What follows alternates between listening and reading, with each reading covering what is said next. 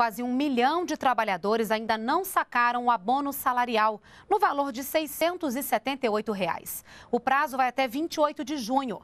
Quem está cadastrado no PIS ou no PASEP há pelo menos cinco anos, trabalhou em 2012 com carteira assinada por no mínimo 30 dias e teve remuneração média de até dois salários mínimos por mês, tem direito ao benefício. Para retirar o dinheiro, é necessário apresentar um documento de identificação e o número de inscrição no PIS ou no PASEP.